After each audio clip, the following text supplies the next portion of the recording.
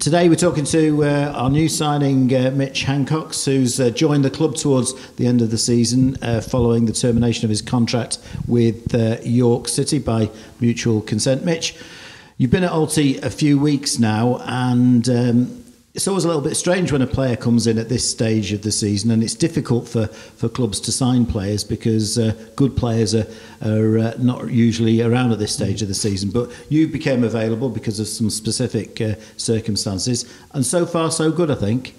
Yeah, no, it's been great. I said the lads have been brilliant since coming in. Um, speaking to the gaffer, obviously before I came, and then when I came, it's, it's been really good, and I'd like to think I've settled in really well. Um, obviously the boys are doing really well and it's good to be a part of that and hopefully we can kick on now to the end of the season and obviously try and get promoted which is obviously the aim. You're essentially uh, a midfielder but uh, you've also played a lot of football at uh, left back as well so uh, if anything goes happens with Eddie Jones we, we've got a replacement. Yeah no that's one probably positive thing about me about my career is I've played all over really I've, I mean I don't think I've played up front or in goal but I've played everywhere else so no, if I'm if I'm needed there, then I'll do a job there. But obviously Eddie's been he's been doing great this season, and so far so good. And obviously the boys in the middle have been doing great as well. So I've been patiently waiting for my opportunity, obviously to start a game. So um, we'll see what happens now over the next couple of games. And you've had a, a, pretty illustrious uh, career, 14 years at Birmingham City, a Birmingham uh, lad. And, and, and t- tell us about your time at uh, Birmingham City because they were championship uh, club when you reached the first team. Yeah, no, it was. I think when I broke through, there was two or three others at the same time. So we was it was kind of in like there was a mess upstairs with the board and stuff. So they couldn't really bring a lot of high profile players in. Um, so I managed to get my opportunity, and Lee Clark was the manager there, and I'd done well in the pre-season, went on a pre-season tour, and I was, didn't expect to be. Um, and then, yeah, after I think it was a couple of months, I managed to break myself into the team, and I think I played like 15, 16, 17 games or something like that, and I like to think I'd done really well and got rewarded with a new contract. But as a Birmingham fan, um, being a kid as well, it was like a great, great achievement to me to play for my boyhood club. So you're a blue nose. Yeah. Oh yeah, big one. Yeah. Of course, we did win at Birmingham City in 1986 in the FA Cup third round. Yeah, so, uh, Noel did tell me about that when I come in. Yeah. what a fantastic night that was. We'll, we'll move on swiftly. Most of your football at, uh, play, played for Birmingham City was at, was at left back. Yes, it was. Yeah, yeah. And you also got European experience uh, whilst you were there because they, they, they, won the League Cup, didn't they? Yeah, so when I was a first year scholar, they they won it, um, and then as a second year scholar, luckily I made the bench in the like the qualifying round, they beat National 3 0 away. Um, and then in the morning, I got a phone call saying one of the lads failed a fitness test, and I was on the bench. And I was like, I think I was 17 at the time, so I was like, oh my god, what's this? Um, but no, was, we ended up winning. Sorry, it was nil nil away, and they ended up winning 3 0 at home. And one of my uh, good mates, Nathan Redmond, is when he scored his first European goal at 17, and he was just it was unbelievable. I just remember we went 3 0 up in like the 88th minute or something. There was me and a couple of young lads that started sprinting up off the bench because there's still like two subs to go. But um, unfortunately, I didn't get on, but it was a great experience. So experience at uh, championship level, and you also had a, a loan spell at uh, Crawley in League Two whilst you were at um, St Andrews. Yes, no, it was a time where I wasn't playing, I wasn't involved. Um, the lads at the time were doing well, and they was pushing for the top ten in the championship, and I needed games of football. Um, and it was Mark Yates, manager at the time, took a punt on me when they used to have the EFL loan window. Um, so I went for a month initially, um, done really well, um, stayed for another two months. I'm really enjoying my time. I think I played like 15 games, scored my first ever professional goal there as well, and it was a good little club. Um, we done, I think we done really well. I think there was towards the bottom. We ended up before I left just below the playoff positions. Um, but no, it was a great time there, and it was good for me to learn that level of football because I'd, I'd played championship at that point, but I hadn't played properly in over a year, so it was just great to get back out there again. And then off to Macclesfield Town for a couple of seasons, and uh, that's where. Uh, your sort of uh, acquaintance started with uh, with John Askey and, and and two great seasons. Yeah, no, it was unbelievable. So the first season I signed, I actually played like a, a pre-season game for him because I needed players and I needed to get some minutes under my belt.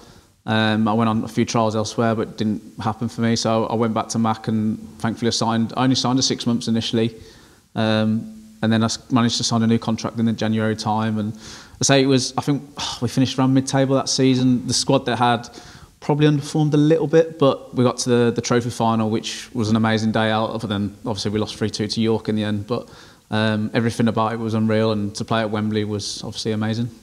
Yeah, and, and I was at that game, and one of the best trophy finals, I think. Yeah, no, it was end to end. It was open. Uh, yeah, it ended up three two. Um, but no, York. I mean, York had been relegated at the time, and they bought. I think they bought about 10, 15,000, and Mac bought about. I think it was about 12, 15. So it was a good atmosphere there, and um, like I say, everything about it was unbelievable, other than the result. And the following season, uh, you became a National League uh, winner. Phenomenal season for uh, for the Silkmen.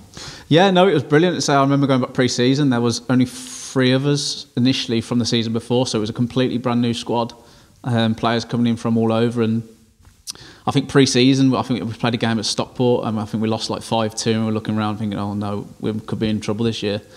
But we just, I think we started. I don't think we started the season off too great, if I remember correctly.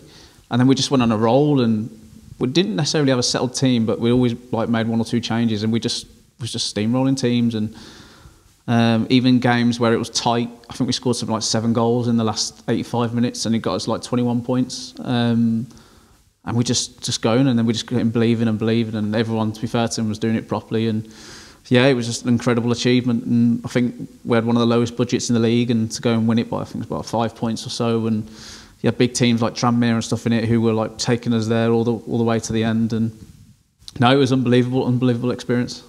So into EFL two, but not with Macclesfield Town. You were with uh, MK Dons. Yeah, so um, the manager Paul Tisdale just took over there, and he was speaking to my agent at the time when he was at Exeter, and um, the opportunity to come to go there, and I was a bit ups, not upset, a bit disheartened to leave Macclesfield because I did really enjoy my time there and wanted to go and play in League Two for him, but I think the, the manager left to go to Shrewsbury. A few lads left as well, so I thought well, it was a great opportunity for me with MK because they've just got relegated from League One and they're going to try and go for promotion. So, um, unfortunately, I didn't play as much as I'd hoped that year because, I mean, you'll see it on the news. Dean Lewington's like played hundreds and hundreds of games. He's a club legend there, and I was playing left back, left wing back at the time. And to be fair to him, it was incredible. So, I think I played a lot of cup games and stuff. But now to be part of it, um, we ended up getting promoted on the last day of the season, beating beating Mansfield 1 0, who were third. We were fourth and beat them on the last day. So, no, it was a bit of a mixed feelings about that experience, but it helped me in the end. And then to your hometown club, Solihull Moors, um, and that included a, loan spell at uh, Harrogate. Yeah, no, I went there, um, signed there because luckily it was on my doorstep, like 15 minutes away where I was staying at the time. And again, I enjoyed my time there. The first year was a bit stop start. Uh, I had a couple of injuries in pre-season, um, and then I couldn't struggle to get like a place in the team. So I went on loan to Harrogate for six weeks, which was again was unreal. It was a really good experience. It's obviously same league. Um, like to think I'd done okay there, and then I went back to Solihull. Um, I think Tim Flowers was the manager at the time, and then he got sacked. Or was a mutual agreement. I can't remember what it was. And then obviously COVID happened, and we had the last game before everyone stopped and we played Fylde away and ended up uh, breaking my hip. So I was out for about six months, but I missed no games of football because COVID stopped everything. so in the summer of 2021, uh, Josh Gowling, Gowling, the manager of Hereford's, uh, taken you to uh, Edgar Street, and it was whilst you were on contract at Edgar Street that you've uh, had a loan move, to, to York City, which has turned out really well for you. Yeah, no, Hereford like started off pre-season, everything was great. We started the season wasn't doing too great, and personally, I probably wasn't playing that great myself. I was probably I was well, probably I was low on confidence and stuff, and I got myself out of the team when I was fighting to get back in, and this opportunity come to York to go on loan for a month, and I was like, I want to go play games of football, so. I went there, and, um, and then Steve Watson, manager, got sacked after a couple of games. I oh no, John Askey come in and he um, put me in midfield, and then from then on, it just I just took off, and I think I signed a couple of month loans before signing the end of the season, and I'd gone from not scoring in a couple of, like a long time, like probably over a year or so to scoring. That's like 11 goals I ended up on, and at one point I scored eight in five, and I couldn't believe it. Like lads at the time were like, "What's going on here?" And it was crazy. Um, but no, like it was incredible to go to York and then obviously get promoted was just crowned off that that season. It was very similar to what happened with uh, Altrincham two seasons prior. We, I think we were 17th in November. York had a pretty poor first half of the season, but they were absolutely flowing with momentum by the time they got into the playoffs. And in the end, winning the playoff final against Boston United, you could see that coming. Yeah, no, I think we had a lot of games called off over Christmas because it was like towards the end of COVID, and we found us, like you say, was around 17th, 18th, but it was like, we could, if we went and put a run together, you, you never know, you get half chance. And I think we went and run them, we was unbeaten like 14 or 15 games, and it was actually Boston who beat us 2 0 in the league. Um, then we just regrouped, reevaluated, brought one or two players in, and it got us over the line, and we just we just kicked on from there. And I say in the we played Chorley in the quarter final um, at York we finished above them in the league, and you just knew from that game. As soon as we won that game, we just we're going to get promoted. Like nothing was stopping us. And played Brackley in the semis, and they'd beat them twice that year, one 0 And then we went to their play, they finished 21 points above us, and we ended up beating them one 0 And then that game against Boston, you're just looking around the change room, like everyone was like everyone was on it, and everyone was like, we're going to get promoted. And then we just turned up on the day, and it was again, it was an unbelievable experience. And it's the first time I've been in the playoffs, and thankfully it was um, it'll come well in the end. And York City's a, a, a big club. It was the time when they were moving into uh, the new ground. I'm guessing you might have played in the first game at the at the new ground. No, I think that was just. I think it was about six or seven months just before me. Um, but I remember when I was at Maxfield, played at the old ground. Um, it really, like, I really enjoyed it there. It was like, obviously it was small, it was older, but like had that old school feel to it. Um, but no, the the new grad that got the LNER, if I say that correctly, is really good place. Um, and to be fair, the fans there are unbelievable and they've done well for the club. They've always supported the lads through thick and thin, and hopefully they'll get behind them so they can try and stay up this season. And first season back in the National League, you played uh, a lot, a lot of games, and uh, overall it was a decent season for York City. Yeah, it was. I think at the start of the season was obviously the aim to stay in the league, and we started the season bright. So we're thinking, well done. Why can't we go push for playoffs? Um, and then there was, a, I mean, I was there for three year, well, three seasons. There was like three, three chairmen and like five managers. So there was a lot of turnover and new manager come in, um, form dropped, confidence dropped. Again, then another change of manager, and we we got to the point where it was like, we're not doing too great, but we needed to rally around, and we had a really good group of lads, and we fought until the end and managed to stay up. Technically on the last day of the season, but um, before that, we, I mean, I think it was like the Easter break. We had Chesterfield away, beat them 3 1, and we played Barnet at home and beat them 1 0. And that run of games really saved us. And John Askey actually lost his job after the game against Altrincham, which was live on TNT mm. or BT Sports as it, as it was uh, then, uh, which I think was a big surprise to everybody. Yeah, it was. I say, I mean, if you asked any other like, group of lads from that changing room, was everyone was gutted when he left. Um, I think it was a falling out with the owner or something at the time. But no, it was it was a massive shame because although we I think we're not winning five at the time, we were still in a really good position. Um, and you had 20, 22 lads who was willing to run through a brick wall for him. So, like I say, it was a massive shock, and the boys reacted well in the end. As obviously the season's panned out, staying up, but you just don't think what could have been, almost. And of course, Ethan Ross was a, a teammate of yours at, uh, at York City. Um, and I'm sure you were fully aware of what a good goalkeeper he was uh, then, but he's been magnificent for Alty this season. Oh yeah, when Rossi came in last year at York, he was unbelievable. He was like like this season, some of the saves he puts off is it's unbelievable. Like you think, oh no, we're going to concede, and it just comes up with like like a superhero coming out. But no, even since the time I've been here, he's been doing really well. Obviously, I know he, he broke his ribs was it around Christmas time, and he's come back and he's been flying. And no, he's he's one thing about Rossi is he's a great character and he's a great around the place and he, like for me he's a, he's a big leader and he drives people on and he performs on the pitch which is ultimately what you want but around the place he's, you can't ask for more. And Altrincham seems to have the Indian sign over York in uh, in in recent times. Uh, last year came from behind in front of the TV cameras to win two uh, two one, and then uh, two further two ones at mm. uh, the LNER Stadium, one on the Saturday, one on the on the Tuesday in the FA Trophy and uh, League. Uh, I think, uh, and of course we've just beaten York uh, six uh, six one. So we we see we, they're not a team that we uh, they like to see turning up on their doorstep. No, not at all. I remember the game last year. It was, um, I think, Alty scored two two-headed goals from exactly the same set. I think it was James Jones who scored both in both games. And I remember being in the change room, you're thinking, how the hell has that happened twice in a row? But no, I remember. I think it was the trophy game. It was like Jordan Hulme who was here last year. He's, I think he scored one of the goals, and I was playing left back in the game, and he pulled it from my legs, and I was like, oh, for God's sake. But no, it's, it's almost like um, they just can't get anything out of him. And it's like I would have thought the game, obviously when the boys beat them 6-1, would have been a bit tighter, but obviously there was a few mistakes in the day, and fair play to Alty that rolled over them and kick-start the rest of the season. And this season, the reason you're at Alty is it hasn't really worked out at York City. You've not played uh, too much football. Clearly, it's a, the club's in a, a difficult situation at the moment, although recent results have been superb.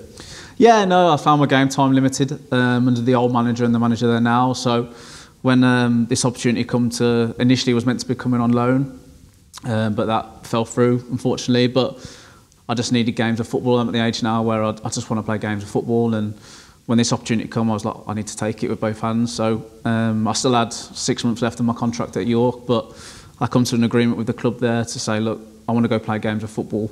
Um, this is a great opportunity for me, so and I was willing to take it. And credit to the gaffer, he was patient with trying to get the deal done. Um, I think he wanted to get it done a day or two before, like I did, but for circumstances held that. But now I'm just glad to get over the line, and I say since I've been here, it's just been first class. And uh, you haven't started a game yet, but um, that possibly might change because George Wilson's obviously uh, received a red, red card at uh, Dorking on, uh, on on Saturday. But um, it's re really good to have you on board to strengthen to strengthen the squad, and you must be pleased with what you've done on the pitch so far because uh, you've certainly made an impression on the Alty fans. Yeah, no, I appreciate that. I'll say I, I just thought as soon as I come in, I'm just going to keep my head down. I'm going to obviously get to know the lads. I'm just going to work as hard as I can and it's a great opportunity for everyone. Like even for myself, even if I play, I even said to while speaking to my, my partner and stuff, saying, look, if even if I make eight sub appearances, it's still going to look better for me being a part of a club that are going for something. Um, and I just think when I'm on the pitch, I've got that mentality of like, well, this could be my last game ever, so. I always try and make sure I give my all, and if my quality's not there, then so be it. But I'll always make sure I'm running around, putting tackles in, because that's a big strength of my game. Um, but yeah, so when I come in, obviously the boys have just won 6-1 against York, so I didn't anticipate coming in the starting 11 straight away, but I've been patient and look, if I get a start on Saturday, happy days, I'll make sure I grab it with both hands because ultimately I want to stay in the team and help the team out as much as I can to obviously try and uh, achieve our goals. And you've certainly joined at a very exciting time of uh, the season. Two games left now in the National League, and hopefully, uh, hopefully uh, the playoffs. How do you how do you assess uh, chances? No, I think we've got a really good chance. I think speaking to the boys is like whoever we get in the playoffs, I'll, I'll back ourselves, whether that's at home or away. Uh, ultimately, you want to try and finish as high as you can, and you still got half an eye on finishing third. Obviously, it's all results dependent, but these next two league games is all about for me trying to get six points and touch wood get through with no injuries and stuff. So we're going into that whether it's that quarter final, which more than likely going to be, or the semi final, that lads are already fit and round to go to try and kick on and get to that final at Wembley. And how uh, how well does the the style of play we've got at Alty suit you? Well, it's, it's, I was speaking to the gaffer about it the other day. So I've been a part of teams where it's not really kept the ball as much. So it's all been about second balls and making those deep runs. So for me, it's it's learning and adapting, um, which I'm trying to do quite quickly because one, it's going to benefit my game and myself, and two, it's I don't want to be out of place when I'm when I'm called upon. So. Um, how we play is it's brilliant with the interchange and obviously the fullbacks coming inside and the wingers coming inside and Uh, you've got the midfielders to keep the ball. So it's, it's refreshing for me, um, especially at my age, obviously learning this style of play. And I just say, when I'm on there, I don't want to let the team down. So I want to keep the ball, keep it moving. And if I need to put my foot in, then make sure I do. And you're, you're a relatively experienced, uh, one of the more experienced members of the squad in what is quite a, a young squad. Yeah, it is. Yeah, I think saying there's only a couple of us over 30. Um, I'm thinking, Jesus, usually around 30, usually the middle of the pack. But no, it's a young squad, and to be fair, it's a young and it's a hungry squad. Everyone wants to do well, and there's a really good vibe about place, and obviously that helps with winning games of football and the league position we're in. But there's no one that I'd say was like a bad egg or anything. Everyone wants the same thing, and everyone wants to progress their careers. And if everyone keeps working hard and in these last few games give everything they can, then it's going to be a great chance for everyone to succeed.